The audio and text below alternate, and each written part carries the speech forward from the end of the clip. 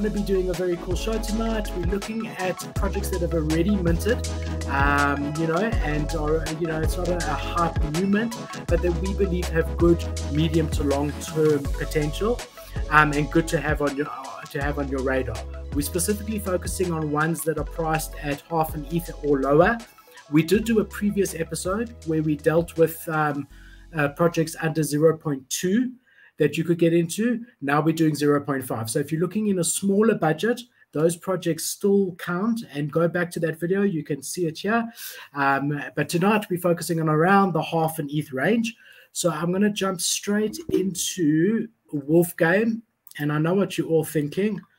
You're all thinking that's not half an ETH. and you and you are right. This is five Ethereum. And uh, you know, let's just have a, a brief look at Wolfgame to begin with. There are sub collections in the Wolfgame um, ecosystem. 5.6. Uh, they're that. selling high. Just, yeah. Wow. One sale at 11 ETH. Must have been a wolf.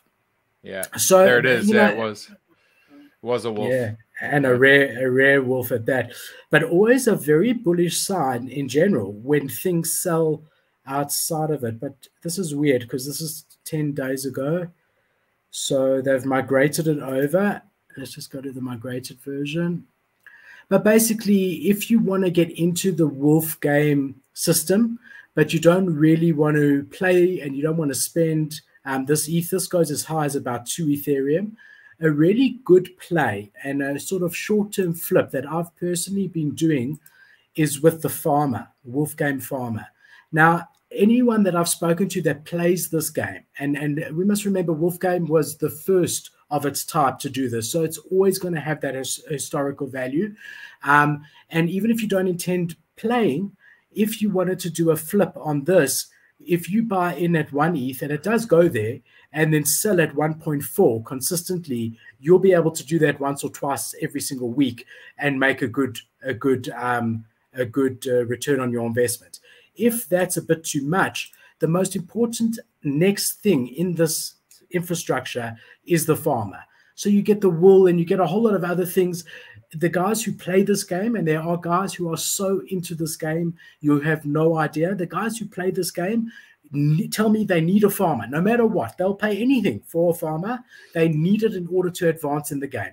So what i've been doing is i've been buying these at 0.5 or 0.55 i won't go higher than 0.55 and then i've been listing it for 0.75 it's currently at the top the reason it falls into our episode today is i usually pick them up at 0.5 or point between there um, but it goes up and down almost constantly almost constantly. And there's your opportunity to pick it up, and there's your opportunity to sell. There was your opportunity to pick one up, and there was your opportunity there again and again, again and again, again and again. And it consistently does this. So, you know, I'm not a financial advisor, and this is very risky mm-hmm. as far as you, you might buy in at 0.55 and it might go down to 0.3. I don't know. Um, but from what I've been doing, it's worked three times. And each time I've netted about 0.2 or 0.15 to 0.2 after all gas and commission and everything. So I just wanted to bring it to your attention. You can do the exact same thing with a with the actual wolf uh, or sheep. I bought a sheep at one and I sold it at 1.45. And I mean, if we just want to go in here, I'll actually show you guys um, just to show you my play properly. If we filter by wolf game, oh, sorry, wolf game farmer. Now that is called a hadeda. It's a bird that we have it's a bird we have in South Africa that everyone hates because they wake everyone up all the time. They make the biggest noise. So if you look here, these are all my trades on farmers, guys. Wow! in the very beginning, in the very beginning, I picked one up at 0.23 and I sold it at 0.74. So that was the beginning when I got this alpha that when that guy said he, everyone needs a farmer. I, in hindsight, I should have bought 10 of them, but obviously I didn't know whether it was good alpha or not, which I now do know. I just want to only go to sales to make this list less. So I picked it up at 0.235, uh, sold it at 7.2. Picked one up at 0.5 on the dot, sold it at 0.68 picked one up at 0.5. The reason I sold it this time at 0.579, so it didn't make uh, made maybe 0.03 on it, was because I noticed that the wolf migrated were going very down. And I started to worry. There was a bit of FUD with an influencer in the project.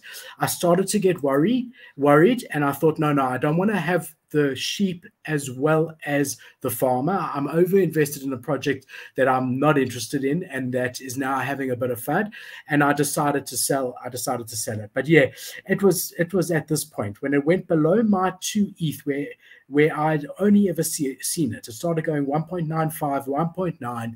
I thought, no, this is, you know, and and I sold my farmer because it's going to follow in the footsteps of the main project. I sold my farmer for a tiny gain just to get out of it, but lo and behold, it actually did what it's what it's always been doing, and that is it went back, as you saw, it went back to 0.7. 0.7. Um, yeah, so you know, you never really know, but just a good play, and you can thank me after for that.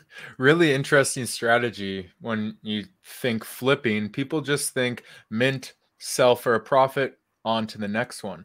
But perfect example, you can just flip the same NFT back and forth yeah. if it if it's a quality project that just sort of goes through those dips and and yeah. Rises, so if you right? see a chart like this, right? If it's you like, take a ruler, it's almost a straight line, the highs and the lows. Okay, there's a bit of a change, but there's constant dips and troughs. Like, where do you see that? If you see that, that's a great opportunity for flipping in yeah. any project. It's like uh like trading coins or stock. People try and buy the dip and sell when it's high, right? So hmm. very very similar strategy. Awesome.